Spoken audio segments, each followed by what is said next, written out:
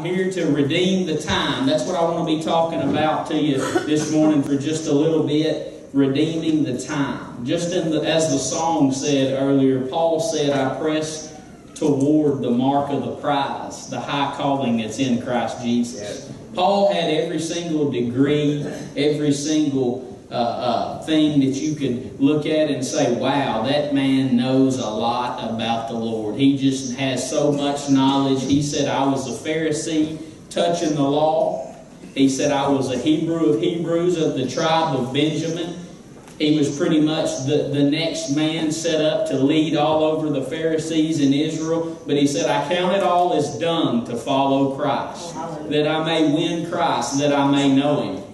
You with me this morning? You in here this morning? That I may know Christ. That's what he said. He didn't say that I may know a, a, a new way to, to teach and a new way to ex explain what this means and this means about the histories of the Bible. I, I think there's a great deception going on right now in the church. Too many people are studying about the Bible and not the Bible itself. Too many people are worried about the historical facts and the intertestamental things that may be true and that can help us understanding. But the truth is that can become an idol. Mm-hmm. Paul had all that down. Not all that we have today, but he had in that time frame the same stuff wrapped up in the pharisaical, all that type of knowledge, if that's even a word, pharisaical. But uh, he, he had all the knowledge that you could ever dream. Probably had the Old Testament memorized. Who knows? But he said, I count all the law keeping done. I count all what I was doing for men to see me and to please men. I count it all as loss that I may win Christ. There's some things that the church needs to count as loss to find Christ as gain. We're holding on to some things because we want to please people, because we want to be seen, all these things. We have to come to a point where we let all that stuff go to see others saved, to glorify Christ, because that's why we're still here. We're here to redeem the time. We're not here to be seen. We're not here to make money. We're not here to do this and that for us to get fame. We're here to be an example of Jesus Christ. He's the one who arrested death in our lives, as the song said earlier, so we show Him to the world.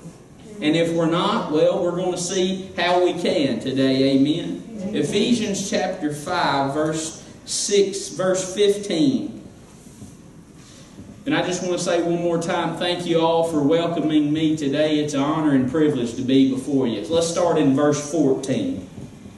Wherefore he says, Awake you that sleeps, and arise from the dead, and Christ shall give thee light. See then that you walk circumspectly, not as fools, but as wise, redeeming the time, because the days are evil. Let's pray this morning.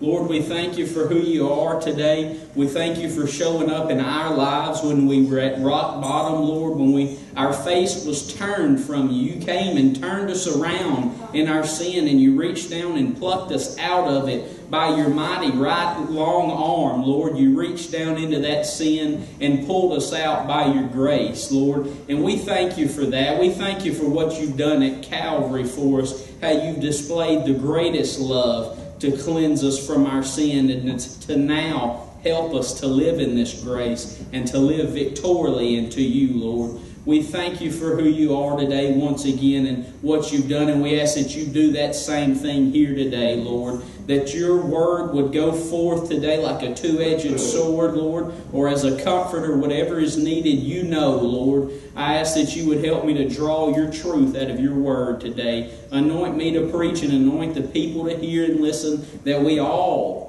may know and learn of you more today and grow in you, Lord. I ask this in Jesus' name. Amen and amen. amen. This has been on my heart for a long time now, redeeming the time. I've been studying this and in Colossians where it says the same thing walk in wisdom toward those who are without, redeeming the time. There's many places that talks about it, but this passage of Scripture here in verse, 15, in verse 16 says, redeeming the time because the days are evil. This was nearly 2,000 years ago. Paul wrote this to the Ephesians. Nearly 2,000 years ago, he wrote this to the church who had just newly been formed into an evil world. And now I think we all know and can see the situation that we're in in the world. So, how much more today should, be, should we be redeeming the time? Amen? But we don't see that. I believe we see it the opposite. I believe we see the opposite zealousness that the early church had. Why is that? Why do we see a, a, a totally almost falling away of witnessing for Jesus out, out beyond the four walls of the church? It's not enough just to come and to sit on the pew and to get edified and to grow and learn from Pastor Matt each week because I know you do. I know you hear the Word of God preached here. I know you hear the gospel preached. But it's our responsibility to take it in our heart and to take it out into the world. You will go places that I never get to go, and I will go places that you never get to go. We're called to be a light in this in these last days. We're called to redeem the time. And how can we redeem the time if we're not living like we're redeemed? Amen? Amen? That's what we're called to do redeem the time. Can y'all still hear me? Yeah. Awesome. Let me open this up today. We're called to redeem the time, and what does that mean exactly, redeeming the time? Purchasing the time back. We know what redeeming means. We were redeemed. And the only way we can do this is if we're living redeemed, is if we're preaching the message that redeemed us, and we're living the message that redeemed us. That's the only people who were truly redeeming the time. I saw a video a, a couple weeks ago, maybe it was less than that, about a week ago, of a young evangelist um, who travels around and preaches, and he was in a pulpit just screaming and shaking and shouting and running and almost falling backwards and doing backflips, and you couldn't understand a word he was saying. Now, that's not redeeming the time. Okay? That's not redeeming the time, that's wanting to be seen. And that kind of stuff needs to be said, and sometimes it's hard to hear. But redeeming the time is not putting on a show for the people.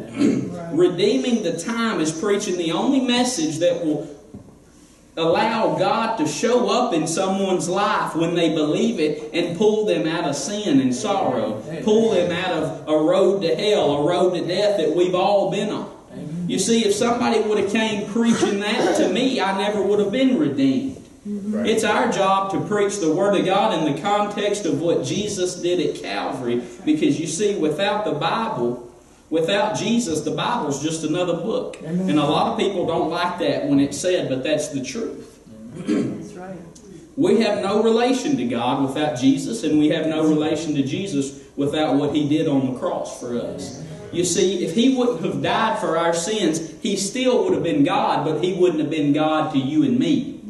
You get that? He still would have been God, but he wouldn't have been God to you and me. We wouldn't have been in relationship with him without being able to come close to him and be cleansed of our sin. Amen? That's what it's all about. Why are we preaching anything else if that works? Amen? I always like to say it like this. If I still sin and I still stumble, and I do, and I will until the day I die, and so will you, then I need to keep hearing the answer. Amen. Not just once, not just twice a year, not just three times. Listen, there's a myth that we just lay a foundation of the message of the cross and move from it. That's nowhere in your Bible. We just lay a foundation of Christ crucified and start preaching a whole slew of other things. There's nothing else to preach. He's right. There's nothing else that can give you life.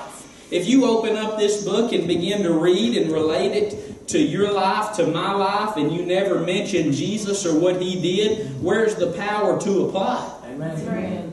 The truth is, you have to talk about Jesus. You have to talk about His blood, not just because you have to say certain words. You don't have to use certain terminology and, and phraseology. But if you're preaching out of this Bible here, and you want to relate it to my modern day relevant situation, then you must also relate it to Jesus Christ.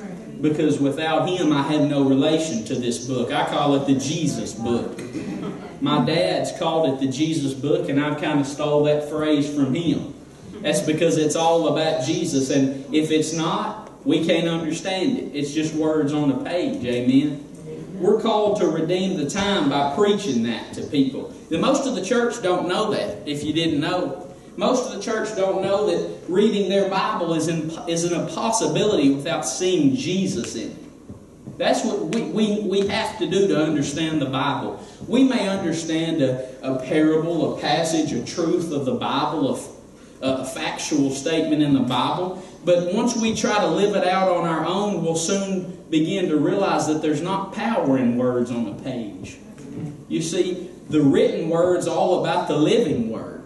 And the living word died for me and you to be able to be able to li- live this written word. Because we're all called to. Amen. Praise the Lord. Uh, turn with me to 1 Corinthians chapter 3. Starting in verse 8. Redeeming the time is more than just putting a, a scripture in your bio, bio, biography on Facebook. How many of you know what that is? Bio on Facebook. It's when you click on your profile and can see what, a few things it says about you. And most young people will have a scripture or something there. It's more than doing that. It's more than putting a bumper sticker on your car. It's more than just saying when you're asked, yes, I am a Christian. It's letting people know, making sure people know, yes, I serve Jesus. I serve God. I've heard a statement many times made, and there's a lot of truth to it, and it sounds good. preach the gospel, use words when necessary. That means preach the gospel with your lifestyle. But I've, I've got a question for you today. What if words are always necessary? Right. What if God wants us not to only live our lives for Him, but to also tell others about Him? You see, I don't, I don't see it as a black and white way of witnessing for Christ. There's not a do it this way or do it that way. We've always got to share Christ, but in the way we do it may be different. Amen. He may want you on your job just to live for Him so others can see you doing it and say, wow, after 10 years, that he's still a man of God. He's still a woman of God. Or he may call you to lead a prayer group, to, to talk about Jesus, to stand up on the table and shout about Jesus. We're all different but He's all called us to share Christ. God all wants us to share His Son because it's in His Son who's the direct representation of His own glory. Why do you think God the Father took so much pleasure in His Son? it's because He was a direct image of God's glory. He's the image of the invisible God, it tells us in Colossians 1.15. He's the image of the invisible God, the sustainer of all things, talking about Jesus the Son, and He's always been that. So God's always taken pleasure in Him. And when He came and He died on the cross for our sins, He said, This is my Son in whom I am well pleased. He's not pleased in anything else. So if we're not showing Him to the world, here's, here's the, the honest, hard truth to accept He's not pleased with us. Mm-hmm. He's not pleased if we're not being a light for Him. That doesn't mean He's going to send you to hell. It doesn't mean He hates you. He loves you. If you can be saved and not be sharing Christ, but God's displeased in that, and He wants us all to redeem the times. Amen. Amen. I hope you agree with me. How many people are born again in here today? All right. Some of you. Okay? Well, I, I, this is the truth. This is, a, this is a great truth to know and accept. How many of you know that God has made us actually co-laborers with Him? Yeah.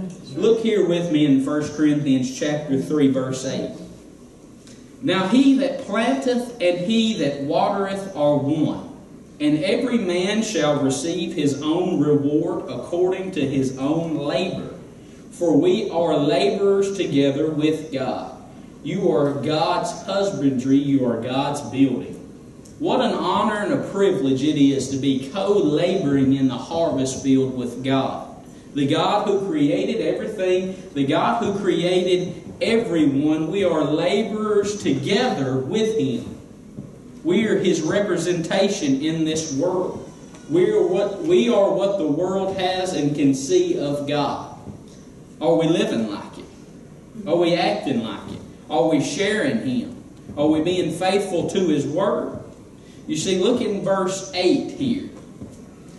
Now that he that planteth and he that watereth are one.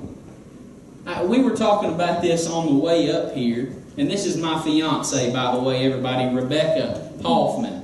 It just as about a, almost not quite two weeks ago, maybe even a week ago. Been about a week ago. And we're excited, and I'm blessed that she's here with me. Amen. That's a rabbit trail, a real one. but verse 8 here says, Now he that planteth and he that watereth are one.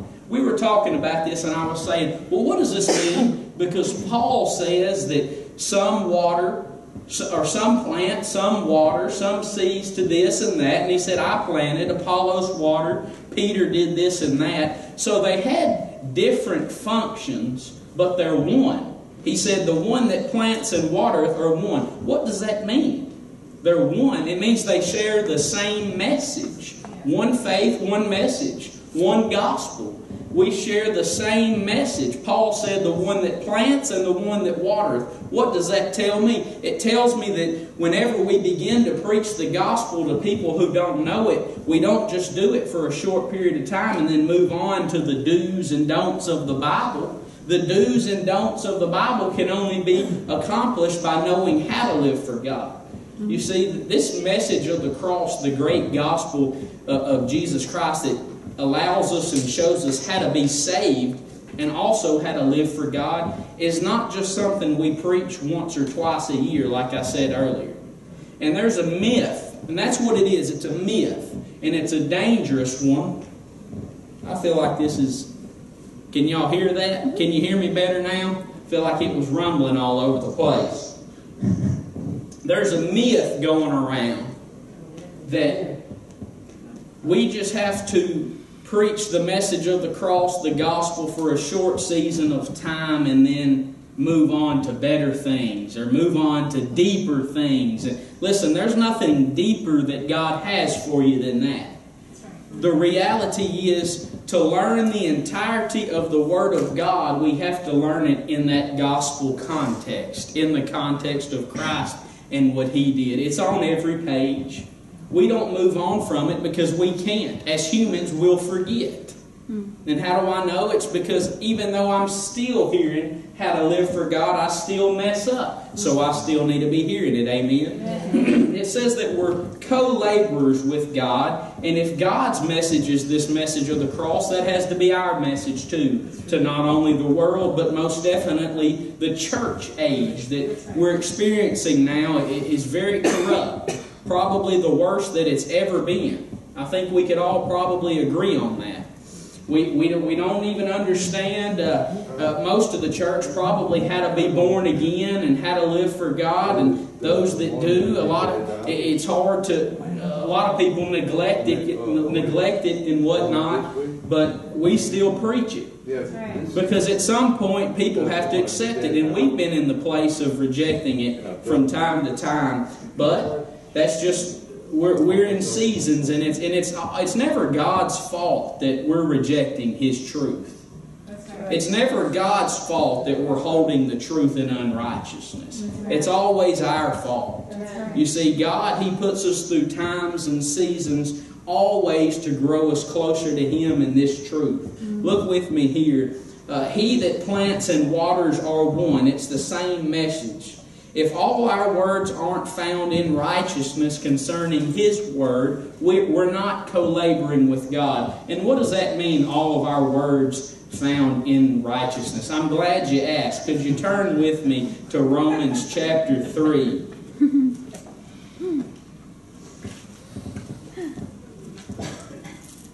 Romans chapter 3, verse 24.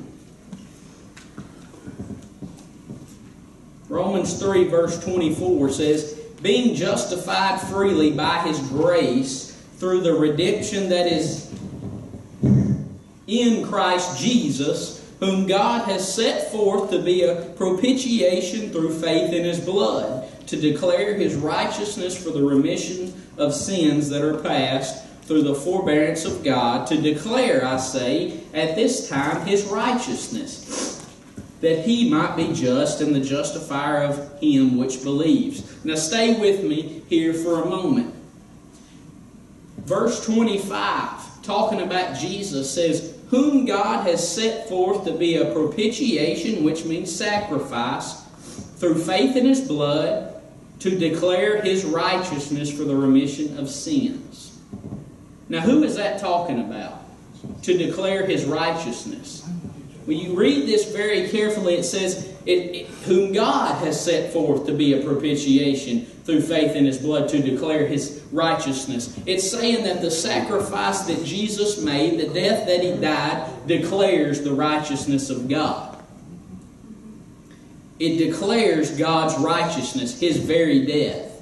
And if we're found trusting in this place, we will also be declaring the righteousness of God. And why is this important? Why is the righteousness of God always mentioned? Why is it always brought up and talked about? This is how God speaks. This is how He works. This is how He moves through His righteousness. What does that mean exactly? and a lot of people, if we went around the room, would give right answers, great biblical answers. But there's a truth that I want to reveal to you today that Proverbs 8 and 8 this is the Lord speaking, and He says, All the words of my mouth are in righteousness. This is the Lord right through Solomon. He's pouring out through Solomon in Proverbs, and he says, For the word, then he says, All of the words of my mouth are in righteousness. Hmm. There is nothing forward or perverse in them. That's God speaking there. And this scripture in Romans 3, verse 25 says, The death of Christ reveals and expresses his righteousness. It also says in Romans 1 17 and 18 that the preaching of the gospel is the power of God and righteousness is revealed in the gospel. So if righteousness, stay with me for a minute because this is a great truth. And this will, this, if you understand that all of God's words are in righteousness, you will be you will be able to understand your Bible to live this Christian life victoriously, victoriously. Just listen, stay with me for a minute because I'm going to quote a few scriptures. Romans 1, 17 and 18. The gospel of Jesus Christ, the righteousness is revealed there in the gospel. And that gospel is the power of God. What else tells us what the power of God is? 1 Corinthians 1.18 says, The preaching of the cross is the power of God. so what is it? Is it the gospel or is it the preaching of the cross? The gospel is the preaching of the cross. And it says it is the power of God. It also says that righteousness is revealed in the gospel, which we now know through this other verse to mean the preaching of the cross. And Proverbs 8 and 8 tells us that all of God's words are found in righteousness. So, what does that tell us? If righteousness is revealed in the preaching of the cross, and all of God's words are revealed in righteousness, where is God's voice revealed? In the preaching of the cross. It's revealed in the preaching of the Word in the context of Christ and what He did. That's the voice of God. That's the voice. You've got many people telling you today, this is how to understand the voice of God. This is how to hear God's voice.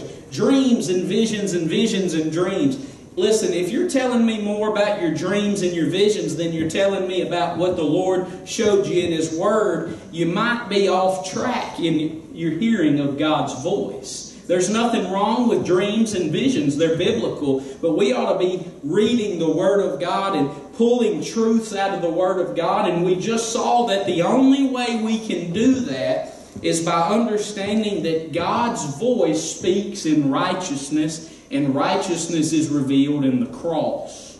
That's good. Verse 25 His death expresses His righteousness. You see, faith in His blood.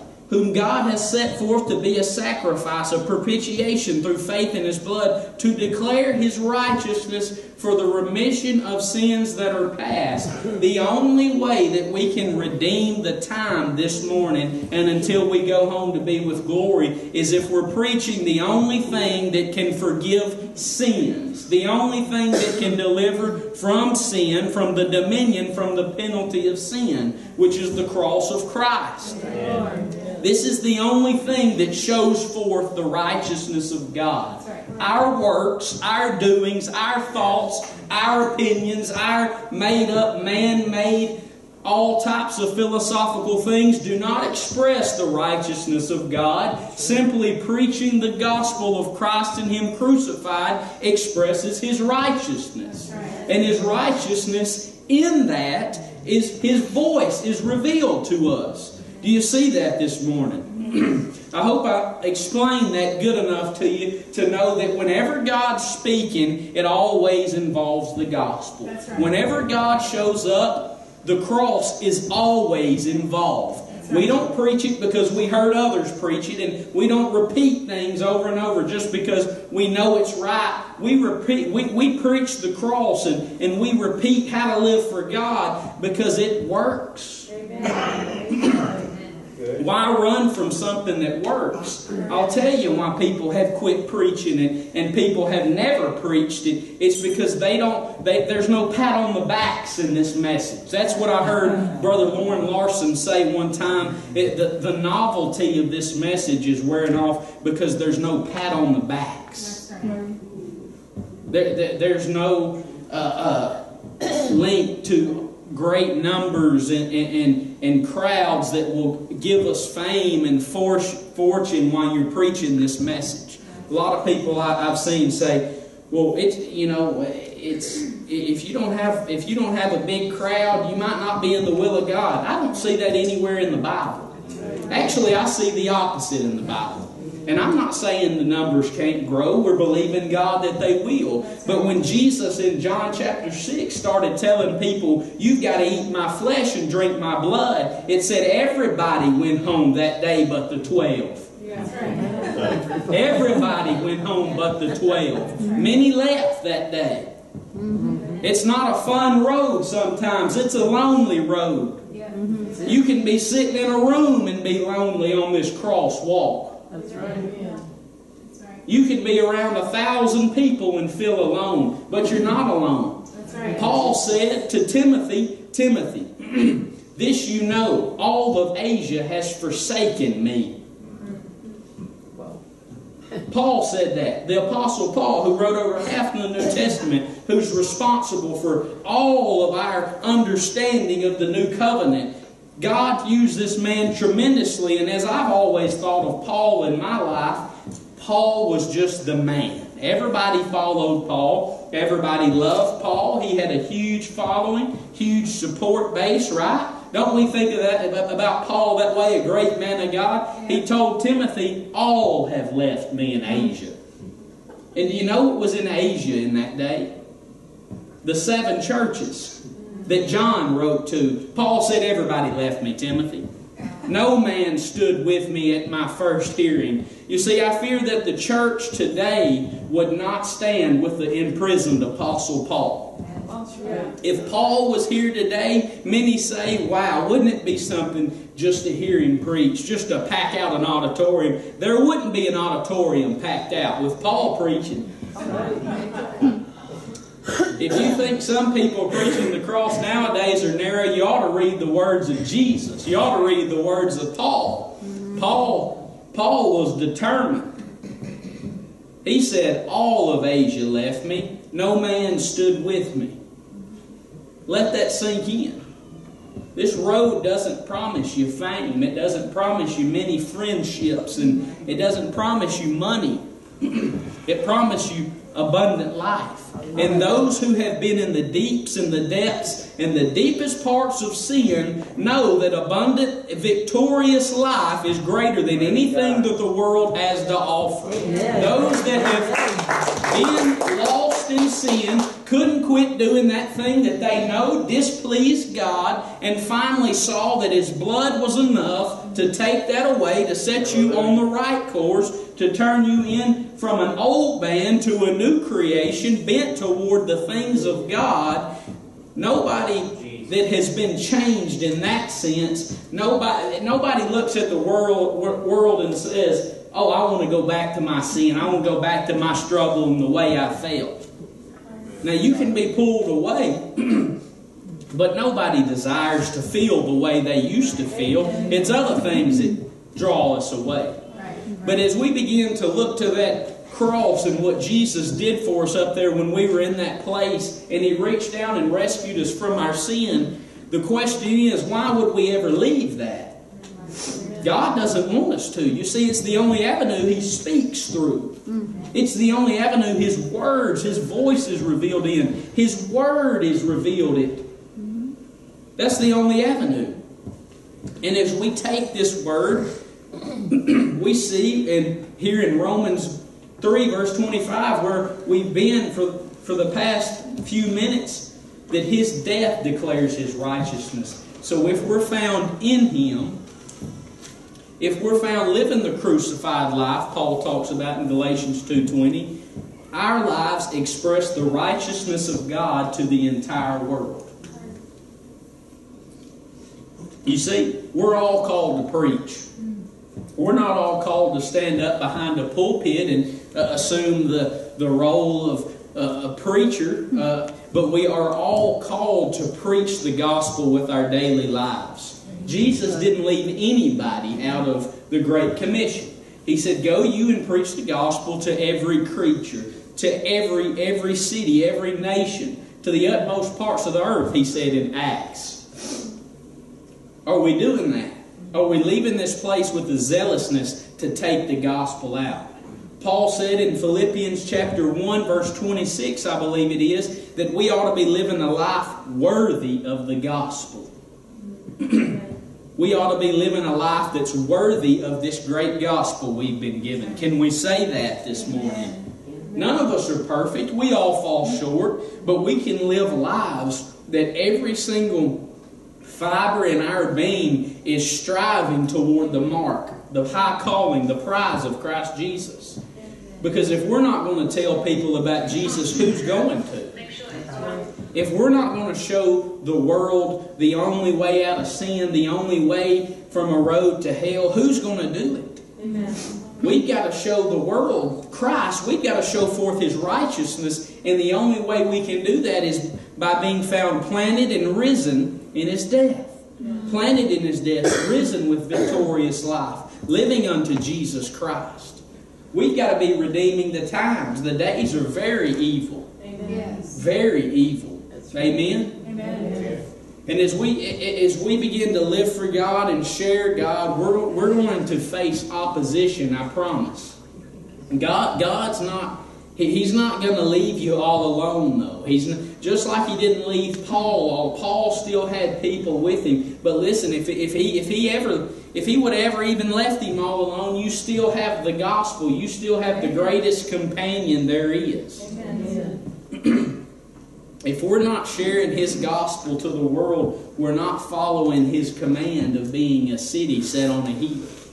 When you see a city up on a high hill going on vacation, driving wherever you're driving to, you don't forget it.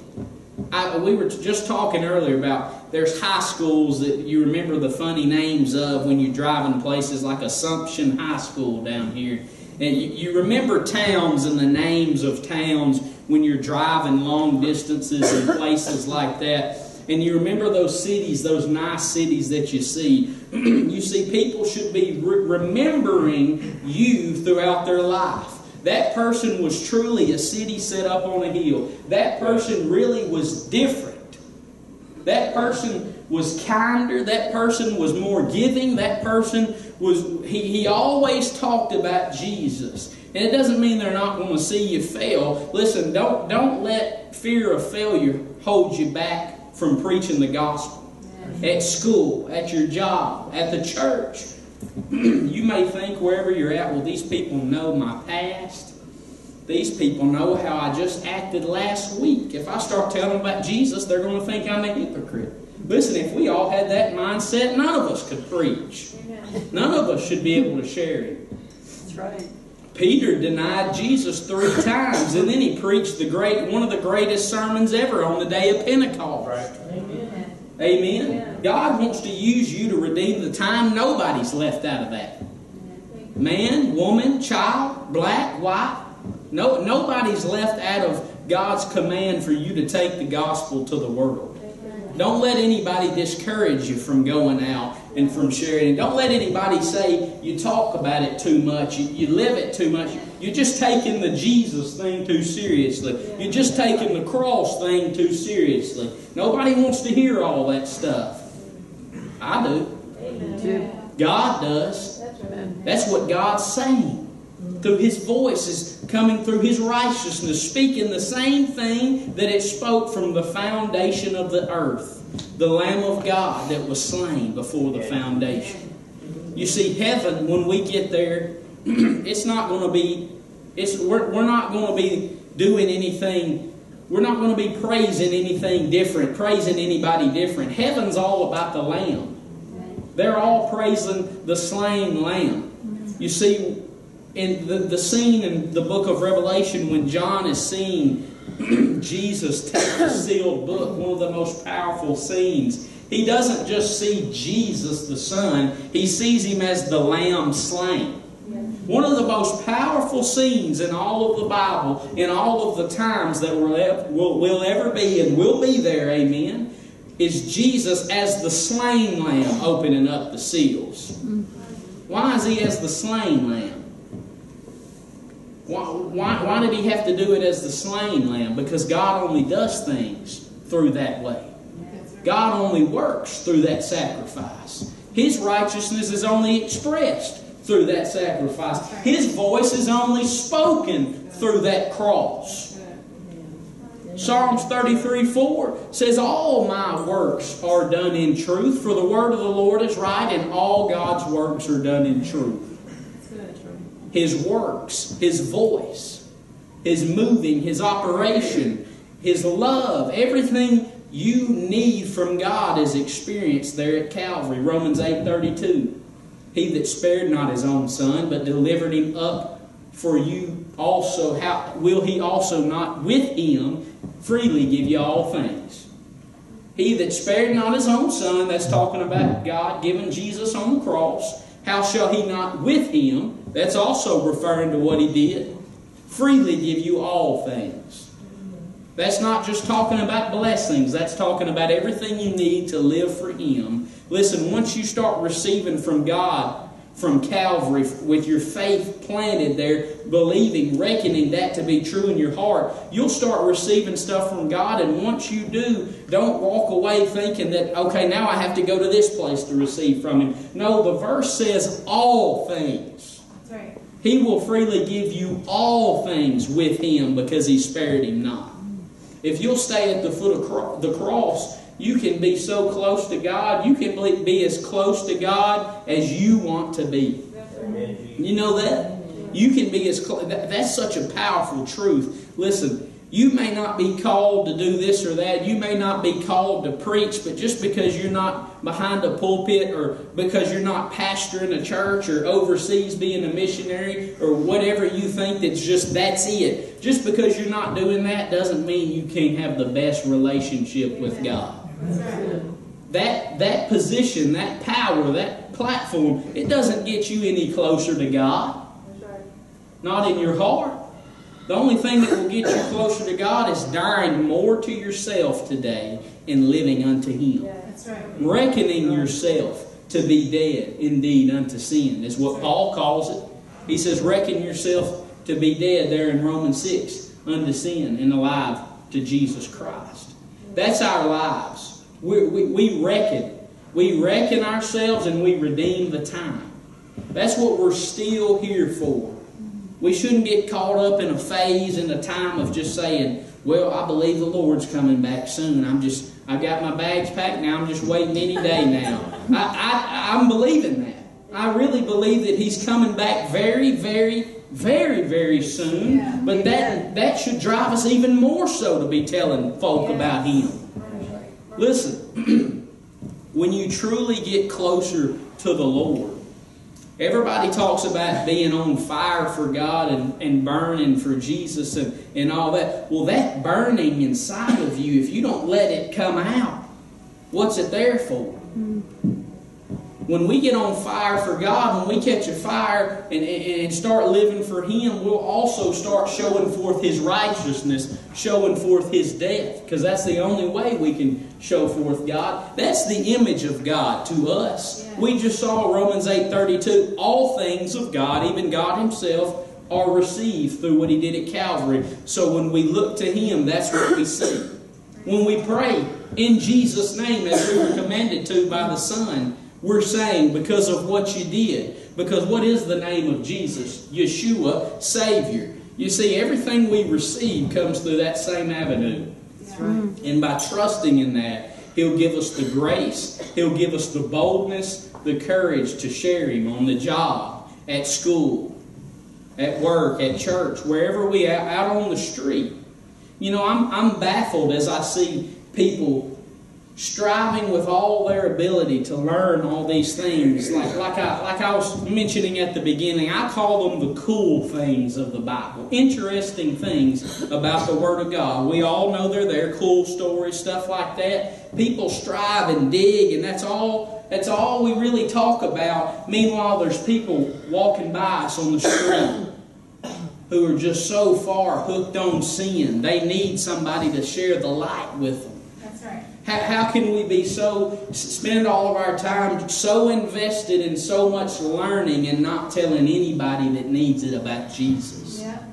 We, we've got to have, we've got to have a mindset of pulling everybody with us to heaven. Yeah. That's what I want to do. I want to pull everybody that I see with me to heaven.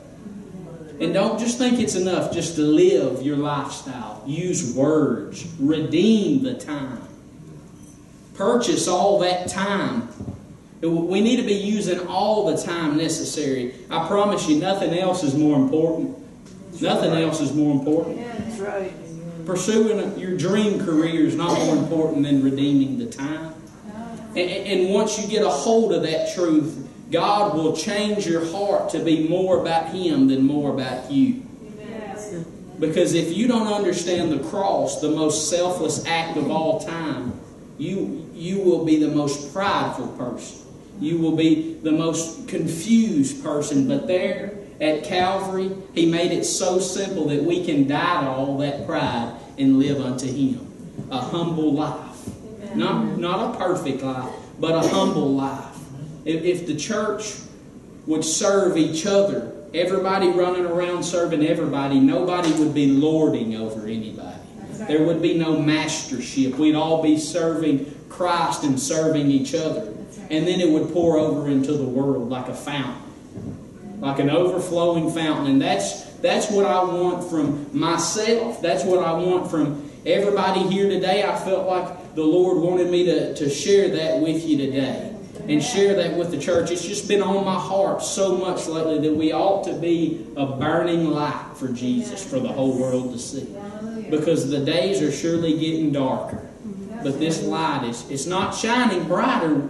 We're just now seeing just how bright it is. Yes. Amen. Amen. Praise the Lord. Would you stand with me this morning?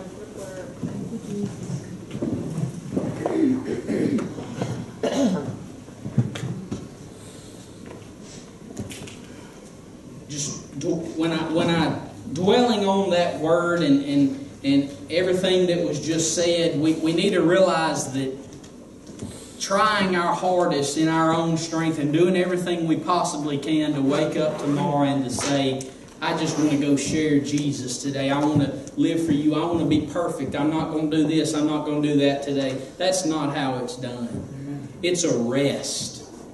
It's a resting process. You see, we've got to learn how to rest, and it may sound funny to you, but one of the hardest things you'll ever do is learn how to rest. Amen. Learn how to rest in Christ, but He gives you grace along this journey. He gives you grace to know more of Him, to understand Him that we may show Him forth to the entire world. Amen. I want to open up these altars today to anybody who just wants to be encouraged from God to share the gospel. If you feel like you, you, you want the Lord to stir you up to go out into the world to preach the gospel, I'm not talking about overseas, though you might. I'm just talking about sharing Him every chance you get. If that's you today, just receive from the Lord. Amen.